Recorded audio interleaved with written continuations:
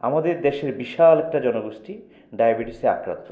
তাদেরকে যদি এই রোগটি সম্পর্কে সচেতন করা যায়, তবে এই রোগটির ভয়াবহতা থেকে রক্ষা করা সম্ভব।